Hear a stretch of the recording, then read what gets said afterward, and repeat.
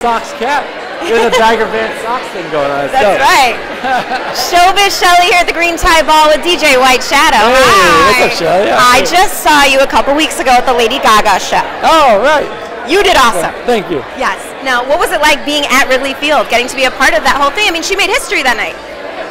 Yeah, I mean, man, I, there's a million people standing in front of you in Wrigley Field. It's like I used to just try and sit outside and get a ticket for five bucks you know, to watch the game. You know. Look where you are now. Yeah. Well, I mean, I'm a nobody. It's nothing. But it was it was really fun to play. I, and I mean, it's Wrigley Field.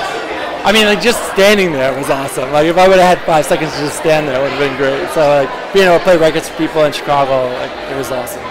And so I know, well, first of all, you're from Chicago. You're a Chicago guy. I'm, I'm, I'm, was born in Ohio, raised in Detroit. Raised- Uh, now I'm in Chicago. but now you're like a Chicago Uh, guy. I'm Chicago say- from from now till I die. Till for sure. forever? Yeah, okay. yeah. So what is I mean, being able to DJ and make music sort of in this place where now you call home, I mean, is that a pretty special thing as opposed to sort of being out in LA where maybe a lot of those people go for music or New York? No, I fly to LA every Monday. I fly Do back you? every Thursday. Yeah. Oh, man. But but but wait, but wait, but wait, but wait. Yeah. I will tell you this.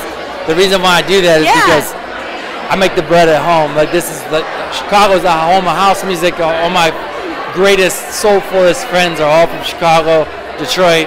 The Midwest is the home of rock, the home of soul, the home of rap. Like there's a, a ton of stuff that's happened in, in in the Midwest that like can never be replaced. You know, Detroit's Detroit Rock City, home of techno, Motown, Chicago, home of house, and like I, I grew up on all of that, and I'm never gonna leave. Like it's the best place of all time.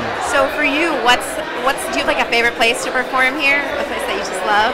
I, I'm not a performer. Like you know what I mean? Like I, I I'm a weirdo. This is super weird for me to actually be talking to you right now. Is I have like wildly social anxiety about stuff, Are you? which is why I'm rubbing my hands the whole time. I didn't even like, notice. You're doing a but, great but- job. But, but, like, um, yeah, I, I, I- like being behind the scenes. Like, I, I started being a DJ because nobody cared about a DJ before. You know, you get to play music and go to a cool party like that. I didn't actually want to go to to be a person there. yeah. I wanted to stand behind a big table and nobody ever see me and be able to play records that I like. So, like, um, I guess now some of that has I have to like suppress that and like go out and do this kind of stuff. But like, I'd much rather just sit in my house and be a nerd. Well, I'm much of an introvert too, so Yeah. I get that. But how do you get over that? Do you just sort of like Yeah, push yourself? vodka. That'll do it. Yeah, that'll work. Um, you're good friends with Lady Gaga. I mean, she talked about you at her show. Yeah. What's your friendship like? Tell me about it. I, you know, she's like my little sister. We've been together Yeah. for a really long time, Yeah. and and she's got a super kind heart and she's a beautiful woman, and you know, I learn from her all the time. I, I I'd like to think that we help each other and we have a good relationship. I don't know. She's a cool. She's a cool girl. She seems cool. Yeah. Her is coming out, I think, next Yeah, week. next week, next Friday. Yeah. Are we going to see you in it at all? So I took a bit of a hiatus in the last like year and a half. Okay. when she was working on the Joanne record or whatever, I was kind of there and like listening and whatever, but it wasn't really my record or like kind of my direction. Like it wasn't just you know, but like we, even through the Tony Bennett thing, uh, it's not my direction. I, I don't know anything about jazz. I don't know anything about that kind of rock thing that Mark knows about. So I guess that's part of it being a friend, right? Knowing when to step back and like lend your support, knowing Totally. when to take the reins and like do whatever. So so she made a, a fantastic record, but most of the Five Foot Two documentary is about her making that record. So again, I try my best not to stick my face in I was gonna say, I hope she's doing okay because she seems to be in a lot of pain. Like she was posting how she's in It's pain. a hard job, man. Yeah. It's a hard. I, I mean, I just worked out for like a half hour today, and I want to poop myself. I, Right? I was there earlier today. I know. Yeah. It's like you, you know, you go out on that stage and you Yeah. like lay it out for that many people. To be honest with you, like, and go back to the Wrigley Field thing, it's like you think about that stuff. It's mentally exhausting just to think about how you're gonna do it.